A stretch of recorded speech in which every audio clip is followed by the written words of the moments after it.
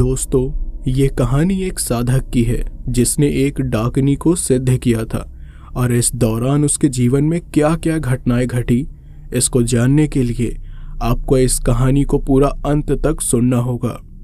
तो चलिए, ज़्यादा समय बर्बाद ना करते हुए सुनते हैं आज की ये डरावनी कहानी।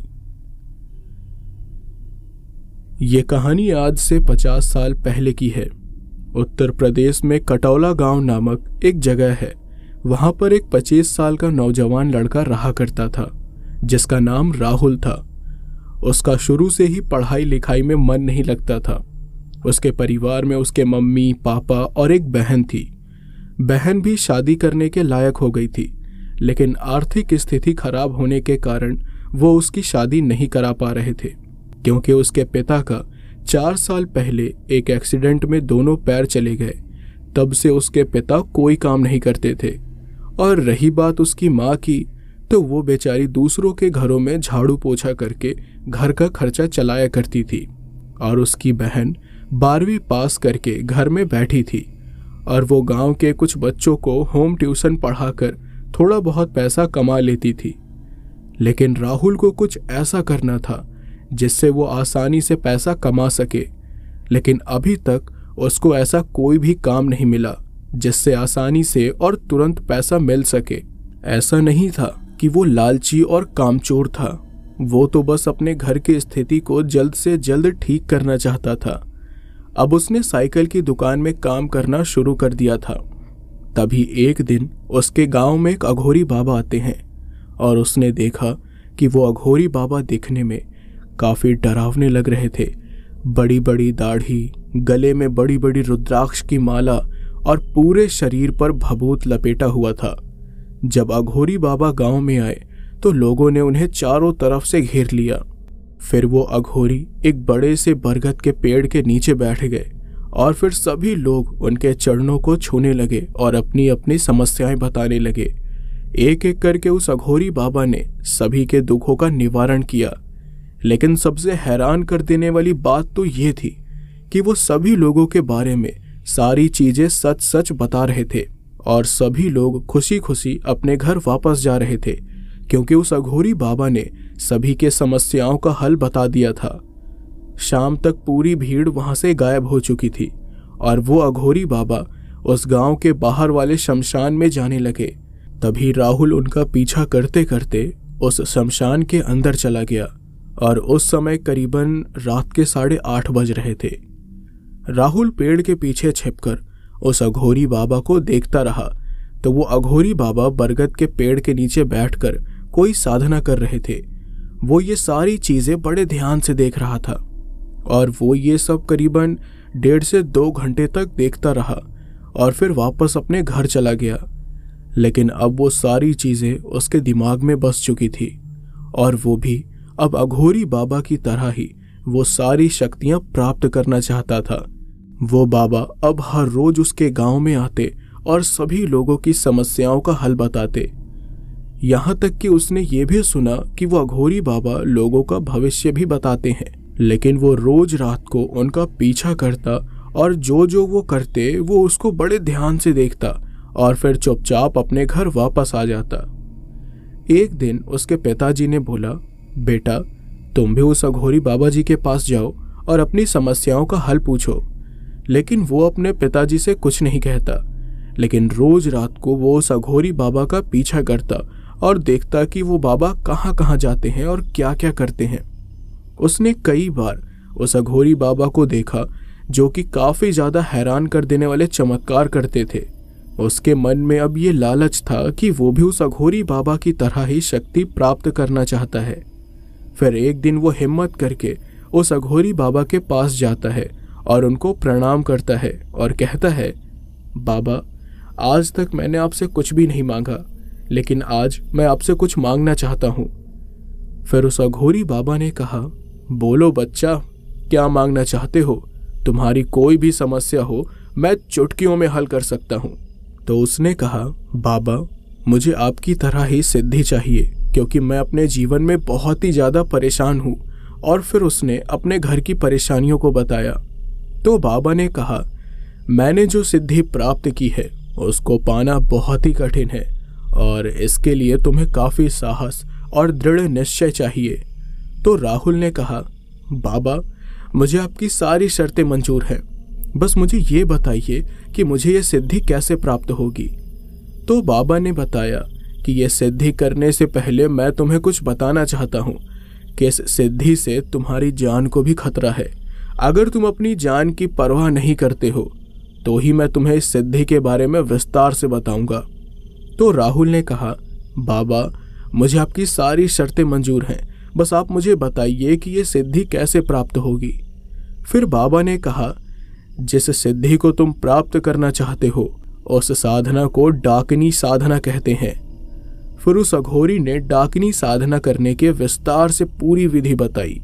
डाकनी की साधना तुम्हें चतुर्दश कृष्ण पक्ष की अर्धरात्रि से प्रारंभ करना होगा, और तुम्हें यह साधना शमशान या सुनसान जंगल में करना होगा, जहाँ कोई भी तुम्हें देख न सके, और सामग्री के लिए तुम्हें मांस, मदिरा, नरकपाल, लाल पुष्प, कुमकुम, सरसों का तेल, नारियल का गोला किशमिश सूखे मेवे और लाल चंदन की माला। ये सब लेकर तुम्हें किसी सुनसान जंगल में जाकर साधना करना होगा और उस स्थल को सिंदूर और सरसों के तेल को मिलाकर मूल मंत्र को पढ़कर घेरा बनाना है और सामने मूर्ति स्थापित करके तेल का दीपक जलाकर देवी की पूजा करनी है। पूजा के दौरान नर कपाल को स्थापित करके सिंदूर लगाकर उसकी भी पूजा करनी है। और पूजा के बाद पूरी विधि से तुम्हें नारियल के जटाओं को जलाकर हवन करना है। और हवन करते वक्त तुम्हें 108 बार डाकनी सिद्धि मंत्र पढ़ना है। इस शक्ति को नियंत्रित होने पर साधक को भूत, प्रेत, पिशाच आदि को नियंत्रित कर सकता है। वो इसे किसी भी व्यक्ति के कल्याण के लिए उपयोग कर सकता है। संतान और धन के साथ साथ ये ज्ञान एवं बुद्धि तथा कलात्मकता को भी प्रदान करती है। इसके सिद्धि के बाद साधक इससे असंभव कार्यों को भी सिद्ध कर सकता है। लेकिन डाकनी को सिद्ध करना इतना आसान नहीं है। डाकनी पहले साधक को डराती है, फिर तरह तरह की महक रूपों में भोग के लिए प्रेरित करती है। इसलिए जिसका निश्चय दृढ़ है, सिर्फ़ वही इस साधना को पूरा कर सकता है। और अपने विचारों को शून्य किए बिना डाकनी सिद्ध नहीं होती। निरंतर अभ्यास से डाकनी को सिद्ध किया जा सकता है। यदि कभी साधना भंग हो गई तो तुम्हें काफ़ी भारी नुकसान हो सकता है। इस सिद्धि से तुम भविष्य भी देख सकते हो, अपना भी और दूसरों का भी। और सबसे ज़रूरी बात कि तुम डाकनी को बेवजह बुलाकर तमाशा दिखाना या सामान्य भोगों को प्राप्त करने में उपयोग नहीं कर सकते। साधना के समय भयानक आवाज़ें भी आ सकती हैं। आंधी, तूफ़ान जैसे प्रकोप हो सकते हैं, पर इनसे घबराना मत। साथ ही डाकिनी के साधक को हमेशा दुराचार से बचना चाहिए और लोक कल्याण का भाव रखना चाहिए। अन्यथा वो अपनी सिद्धि खो बैठेगा और उसका बुरा हस्र होगा। डाकिनी के साधक को किसी पर भी क्रोधित होने से बचना चाहिए, क्योंकि सच्चा साधक अपनी ताकत का प्रदर्शन नहीं करता। ये सारी बातें राहुल बहुत ही ध्यान से सुन रहा था। फिर उसने कहा, बाबा, मैं ये साधना करने के लिए तैयार हूँ फिर उस अघोरी ने कहा, एक बार फिर सोच लो, कहीं तुम्हें पछताना ना पड़ जाए तो राहुल ने कहा, बाबा, मैं अपने घर वालों के लिए और दूसरों के लिए कुछ अच्छा करना चाहता हूँ, इसलिए आप मुझे मार्गदर्शन दिखाएँ, ताकि मैं अपने साधना में सफल हो सकूँ। तो उस अघोरी बाबा ने कहा यह साधना केवल तीन दिनों की है, और अगर तुम इसमें सफल हो गए तो डाकनी तुम्हें प्राप्त हो जाएगी। लेकिन एक बात याद रखना, जब डाकनी तुम्हारे सामने प्रकट होगी तो वो तुमसे ये सवाल ज़रूर पूछेगी कि तुम मुझे किस रूप में प्राप्त करना चाहते हो, माता, बहन या फिर प्रेमिका के रूप में। लेकिन तुम याद रखना कि तुम्हें उसे माता के रूप में ही सिद्ध करना होगा, तभी जाकर तुम्हें इस सिद्धि का बहुत ही अच्छा परिणाम मिलेगा। ये सुनकर राहुल अघोरी बाबा को धन्यवाद कहता है और अपने घर वापस चला जाता है। अब रात भर उसे नींद नहीं आती और वो बस उस साधना के बारे में सोचता रहता है। धीरे धीरे करके वो सारी सामग्री को इकट्ठा कर लेता है जो जो उस अघोरी बाबा ने बताया था। लेकिन बस एक सामग्री की कमी थी, जो कि इस साधना में सबसे ज़्यादा ज़रूरी थी, और वो थी इंसान की खोपड़ी, यानी कि नर कपाल। इसकी कमी के कारण वो इस साधना को पूरा नहीं कर सकता था। वो एक हफ्तों तक इधर उधर नर कपाल की तलाश में भटकता रहा, लेकिन उसे वो चीज़ प्राप्त नहीं हुई। हार मानकर वो फिर से उस अघोरी बाबा के पास गया और उसने अपनी इस समस्या का हल पूछा। तो उन्होंने कहा, अगर तुम्हें नर कपाल नहीं मिल रहा है तो तुम किसी बंदर की खोपड़ी को उपयोग में ले सकते हो। लेकिन उसे शमशान के दक्षिण दिशा में बैठकर उस बंदर के कपाल को जागृत करना होगा, तभी जाकर तुम्हें इस साधना में सफलता प्राप्त होगी। इतना सुनकर वो थोड़ा बहुत खुश हुआ और किसी तरह करके उसे एक बंदर का कपाल मिल ही गया। अब उस कपाल को जागृत करने के लिए उस अघोरी बाबा ने फिर एक मंत्र बताया और फिर उसने उस कपाल को जागृत कर लिया। इसके बाद कृष्ण पक्ष की रात को वो एक सुनसान जंगल में गया। जहाँ आसपास कोई भी इंसान उसे नहीं देख सकता था। और फिर जैसे जैसे उस बाबा ने बताया, वैसे वैसे वो साधना उसने करनी चालू कर दी। जब उसने साधना की शुरुआत करी तो उसे शुरू में बिल्कुल भी डर नहीं लगा, लेकिन जैसे जैसे वक्त गुजरता गया, वैसे वैसे उसके कानों में बहुत ही डरावनी डरावनी आवाज़ गूंजने लगी। और ऐसा लगने लगा जैसे आंधी, तूफ़ान आने लगा हो, या फिर बारिश होने लगी हो। लेकिन उसने बाबा की बातों का ध्यान रखा था कि उसे इन सभी चीज़ों से घबराना नहीं है। और फिर थोड़ी देर के बाद ही जंगली जानवरों की आवाज़ आने लगी। लेकिन उसने अपना निश्चय बिल्कुल दृढ़ कर लिया था और इसी तरह करते करते दो दिन कब गुजर गया पता ही नहीं चला। लेकिन फिर तीसरी और आखिरी रात जैसे ही उसकी साधना पूरी होने वाली थी, तभी उसे ऐसा लगा जैसे कोई उसके पास आकर उसके चारों तरफ़ गोल गोल घूम रहा है और उसके कानों में किसी के हंसने की बहुत ही ज़्यादा डरावनी आवाज़ आ रही थी। लेकिन फिर भी वो घबराया नहीं और उसने अपनी साधना को पूरा कर लिया। तभी उसके कानों में आवाज़ गूंजी। आँखें खोलो राहुल। जब उसने अपनी आँखें खोली तो सामने एक औरत खड़ी थी, जो दिखने में बिल्कुल काली जी की तरह दिख रही थी और वो काफ़ी ज़्यादा लंबी और डरावनी लग रही थी और उसके एक हाथ में बहुत पुरानी और एक मोटी सी किताब थी। इतना देखकर राहुल काफ़ी ज़्यादा घबरा जाता है, लेकिन फिर भी हिम्मत करके वो उसको प्रणाम करता है। फिर वो औरत बोलती है, राहुल, तुमने मुझे सिद्ध कर लिया है और अब तुम मुझे बताओ कि तुम मुझे किस रूप में प्राप्त करना चाहते हो। तो उसने बोला, मैं आपको अपनी माता के रूप में प्राप्त करना चाहता हूँ। क्योंकि राहुल के अंदर इतना बल नहीं था कि वो उसे प्रेमिका के रूप में स्वीकार करे, और उस अघोरी बाबा ने भी केवल माता के रूप में ही प्राप्त करने को कहा था, जिसके कारण राहुल ने उसे माता के रूप में ही प्राप्त करना सही समझा। इतना सुनकर वो डाकनी बहुत ज़ोर ज़ोर से हंसने लगी और कहा, ठीक है, आज से तुमने मुझे माता के रूप में सिद्ध कर लिया है। फिर राहुल ने तुरंत बोला, माता क्या आप मुझे वो सारी शक्तियाँ मिल सकती हैं जो मैं चाहता हूँ? ये सुनकर डाकनी ने कहा, तुम्हें किस प्रकार की सिद्धि चाहिए मुझे बताओ? तो राहुल ने कहा, माता, मुझे इस संसार में जितने भी भूत, प्रेत, पिशाच हैं, वो सभी मेरे अधीन रहें और वो सभी मेरी बातों को माने। इतना सुनकर डाकनी बहुत ज़ोर ज़ोर से हंसती है और फिर बोलती है, इतनी आसानी से तुम्हें यह सब प्राप्त नहीं होगा, तुम्हें एक और साधना करनी होगी तब जाकर तुम्हें यह सिद्धि प्राप्त होगी। इतना सुनकर राहुल हैरान हो जाता है और वो ये सोचता है कि अब कौन सी साधना करनी बाकी रह गई है। फिर उस डाकनी ने उस मोटी सी किताब को दिया और कहा कि तुम्हें तीन दिन की और साधना करनी होगी और ये तीन दिनों की साधना इतनी आसान नहीं होगी। तुम्हें मेरा मंत्र तो जाप करना ही होगा। साथ ही इस किताब में जितने भी मंत्र लिखे हुए हैं, वो सभी को तुमको एक साथ पढ़ना होगा। लेकिन जब तुम इस किताब को पढ़ोगे, तब तुम्हें आभास होगा कि तुम्हारे चारों तरफ़ भूत, प्रेत, पिशाच भटक रहे होंगे, लेकिन तुम्हें घबराना नहीं है।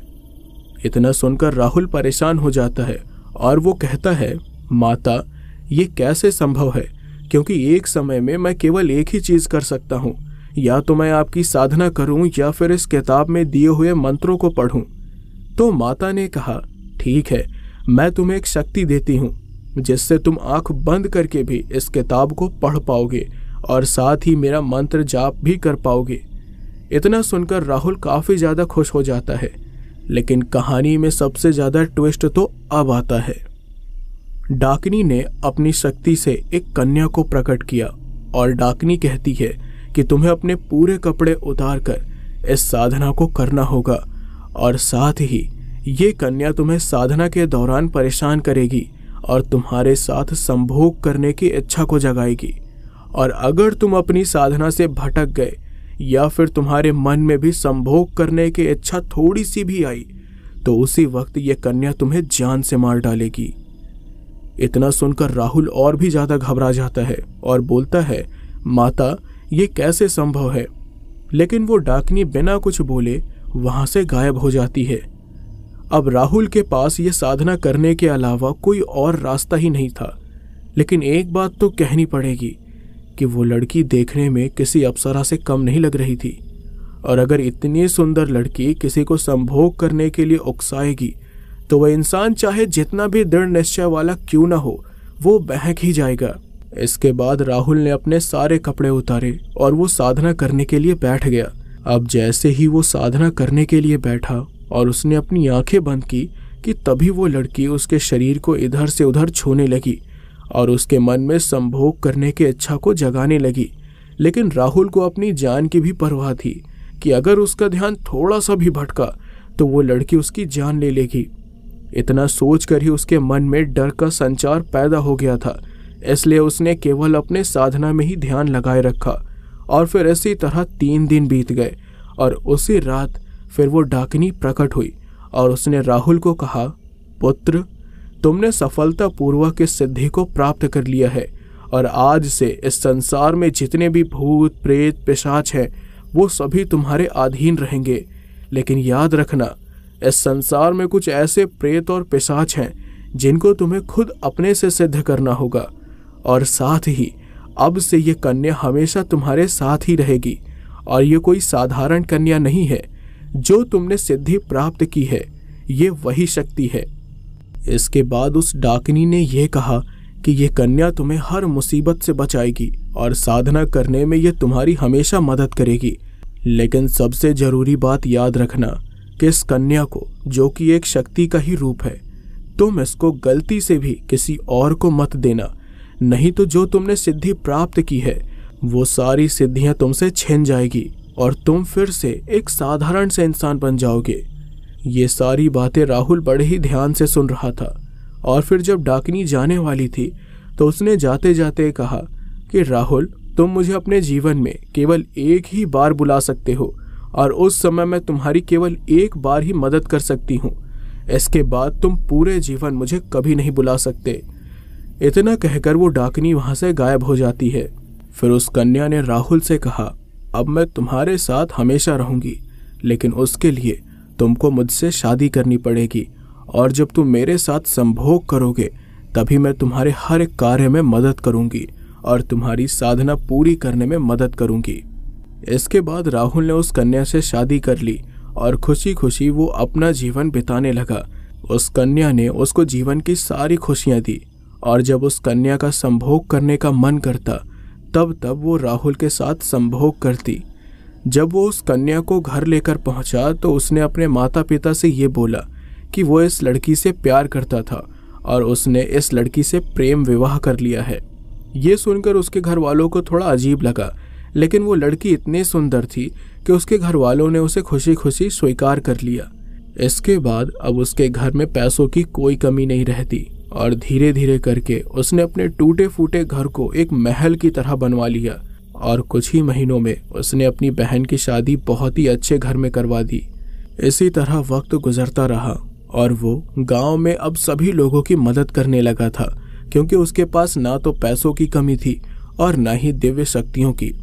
अपने इस सिद्धि के कारण वो अपने गाँव में धीरे धीरे मशहूर होने लगा, लेकिन उसके अंदर घमंड बिल्कुल भी नहीं था।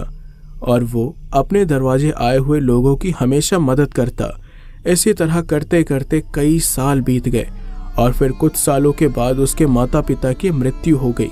ये राहुल के लिए एक सदमे से कम नहीं था, लेकिन उस सेविका शक्ति ने उसे साहस दिया और कहा कि तुम्हें अपने जीवन में बहुत कुछ करना है, इसलिए तुम इन सब बातों पर ध्यान मत दो। मैं जानती हूँ कि तुम्हें अपने माता पिता के गुजर जाने का बहुत दुख है, लेकिन यही जीवन की कड़वी सच्चाई है। फिर राहुल ने भी सोचा कि ये बात तो सही है, लेकिन वो अपने मन को समझा नहीं पा रहा था। फिर सेविका शक्ति ने उसे काफ़ी समझाया और कहा कि अब हमें इस महल को छोड़कर हमेशा हमेशा के लिए चले जाना चाहिए और अब हमें शमशान भूमि में रहना चाहिए। ये बात सुनकर राहुल भी उसकी बात को मान गया और वो शमशान में एक छोटी सी कुटिया में रहने लगा। अब उसके पास बहुत सारे भूत, प्रेत, पिशाचों की टोली थी। जो कि उसकी सारी बातों को मानते थे। लेकिन कुछ महीनों के बाद राहुल को अब एक शक्तिशाली पिशाच को सिद्ध करना था तो उसने अपनी ये इच्छा उस सेविका शक्ति से बता दिया। इसके बाद उस सेविका शक्ति ने उसे उस पिशाच को सिद्ध करने की सारी विधि और मंत्र बताया, और राहुल ने केवल एक दिन में ही उस पिशाच को सिद्ध कर लिया। जब वो पिशाच उसके सामने प्रकट हुआ तो वो काफ़ी ज़्यादा गुस्से में था। और उसने राहुल से बस यही सवाल पूछा कि तुमने मुझे यहाँ क्यों बुलाया है? और तुम कौन हो जिसने मुझे एक दिन में ही सिद्ध कर लिया? क्योंकि मुझे सिद्ध करने के लिए चालीस दिन लगते हैं। लेकिन तुमने मुझे एक दिन में कैसे सिद्ध कर लिया? मुझे बताओ, वरना मैं तुम्हारी जान ले लूँगा। इतना कहकर वो पिसाच गुस्से में राहुल की तरफ़ उसे मारने के लिए बढ़ने लगा।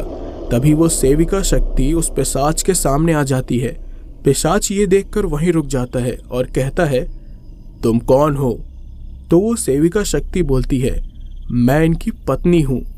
तो वो पिशाच बोलता है, तुम मेरे सामने से हट जाओ, क्योंकि मैं औरतों पर हाथ नहीं उठाता। लेकिन वो सेविका शक्ति उस पिशाच के सामने से नहीं हटती। फिर हार मानकर वो पिशाच बोलता है, ठीक है, आज से मैं तुम्हारा गुलाम हूँ और तुमने मुझे पूरी तरह से सिद्ध कर लिया है। अब तुम जो भी चाहोगे, मैं तुम्हारी हर एक बात को मानूँगा। इतना कहकर वो पेशाच वहाँ से गायब हो जाता है।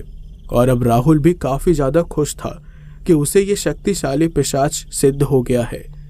फिर एक दिन उसके दरवाजे पर एक बहुत बड़ा सेठ आया और उसने राहुल से अपनी सारी समस्याएँ बताई।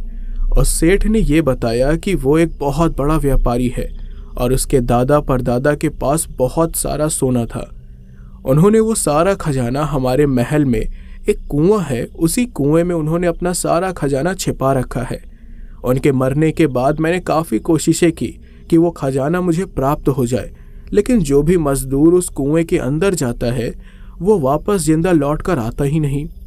तो मैं बस आपसे यही कहना चाहता हूँ कि आप मेरा वो सारा खजाना किसी तरह से निकलवा दीजिए। इसके बदले मैं आपको उसमें से उस खजाने का एक चौथाई हिस्सा दूँगा। ये सुनकर राहुल के मन में लालच जाग जाती है और वो सेठ को दिलासा देकर कहता है कि आप अभी घर जाओ, कल सुबह मेरे घर फिर से आना। इतना सुनकर सेठ खुशी खुशी चला जाता है, क्योंकि उसके मन में अब एक उम्मीद थी कि उसका सारा खजाना अब उसे वापस मिल जाएगा। फिर राहुल अपने कुटिया में बैठकर कुछ देर सोचता है और फिर उसी पिशाच को बुलाता है, जो उसने उस रात सिद्ध किया था। थोड़ी देर में ही पिशाच उसके सामने प्रकट हो जाता है और कहता है बताओ, मैं तुम्हारी क्या सहायता करूँ? फिर राहुल उस पिशाच को सारी बातें बताता है और कहता है कि वो सारा खजाना तुम यहाँ लेकर आओ, और फिर वो पिशाच उस कुएँ की ओर चला जाता है। और फिर थोड़ी देर के बाद वो पिशाच आकर कहता है, जिस कुएँ में वो सारा खजाना छुपा हुआ है, मैं उसे अकेले लेकर नहीं आ सकता, क्योंकि उस कुएँ में बहुत सारी शक्तिशाली ताकतें हैं, जिनको मैं अकेले नहीं हरा सकता। ये सुनकर राहुल ने जितने भी भूत, पिशाच, प्रेतों को सिद्ध किया था, वो सभी उस पिशाच को दे देता है और कहता है कि तुम अपनी सेना बनाओ और उन सभी शक्तियों को हराकर वो सारा खजाना मेरे पास लेकर आओ। पिशाच अपनी सेना बनाकर फिर से उसी कुएँ में जाता है और थोड़ी देर के बाद फिर निराश होकर राहुल से कहता है कि मैं अभी भी उन शक्तियों को हरा नहीं पा रहा हूँ। ये सुनकर राहुल कहता है कि मैंने जितने भी भूत, पिशाच, प्रेतों को सिद्ध किया था, वो सभी मैंने तुमको दे दिया। अब मेरे पास कोई भी शक्ति नहीं है। इतना सुनकर वो पिशाच बोलता है कि जो तुम्हारे पास सेविका शक्ति है, वो मुझे दे दो, ताकि मैं उन शक्तियों को हरा सकूँ और वो सारा खजाना तुम्हें लाकर दे सकूँ। राहुल ने बिना कुछ सोचे समझे अपनी उस सेविका शक्ति को उसके हाथों में सौंप दिया। लेकिन थोड़ी देर के बाद ही जब उसे याद आया कि उस डाकनी ने उसे क्या समझाया था कि गलती से भी उसे अपनी सेविका शक्ति किसी को भी देना नहीं है। अब राहुल ने उस पिशाच को दोबारा बुलाया और कहा कि मेरी सेविका शक्ति कहाँ है?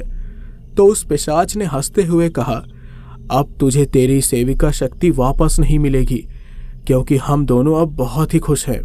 और वैसे भी, अब मैं तेरी कोई भी बात नहीं मानूँगा, क्योंकि अब मैं आज़ाद हो चुका हूँ। और तेरी सेविका शक्ति भी अब मेरे पास है, और मैंने तेरे उस सेठ को भी मार डाला, और अब तेरी बारी है। इतना सुनकर राहुल बहुत ही ज़्यादा घबरा जाता है, और मन ही मन सोचने लगता है कि अब इस पिशाच से कैसे बचा जाए। तभी उसे याद आता है कि उसे इस पिशाच से कोई बचा सकता है तो वो केवल डाकनी है। वो मन ही मन डाकनी को याद करने लगता है, लेकिन डाकनी आते ही राहुल से कहती है मैंने तुम्हें जिस चीज़ के लिए मना किया था, आखिर तुमने वही किया, और अब चाह कर भी तुम्हें यह सेविका शक्ति कभी भी नहीं मिल पाएगी। राहुल डाकनी के पैरों में गिर जाता है और माफ़ी मांगने लगता है। फिर डाकनी उस पिशाच से राहुल को बचा लेती है और कहती है कि अब ना तो मैं तुम्हें दोबारा मिलूँगी और ना ही वो सेविका शक्ति। इतना कहकर वो डाकनी भी अब वहाँ से गायब हो जाती है और राहुल के पास अब पछताने के सिवा और कुछ नहीं रहता। अब उसके पास कुछ भी नहीं बचा था, इसलिए भगवान भोलेनाथ की सेवा करता है और उन्हीं की साधना करता है। लेकिन जब भी राहुल उस घटना को याद करता है तो मन ही मन बहुत पछताता है कि आखिर क्यों उसने बिना कुछ सोचे समझे अपनी सेविका शक्ति को उस पिशाच के हाथों सौंप दिया। तो दोस्तों, डाकनी साधना की ये कहानी यहीं पर समाप्त होती है, और उम्मीद है कि आपको ये कहानी ज़रूर पसंद आई होगी। और अगर पसंद आई हो तो प्लीज़ कमेंट बॉक्स में ज़रूर बताना और चैनल को सब्सक्राइब कर लेना।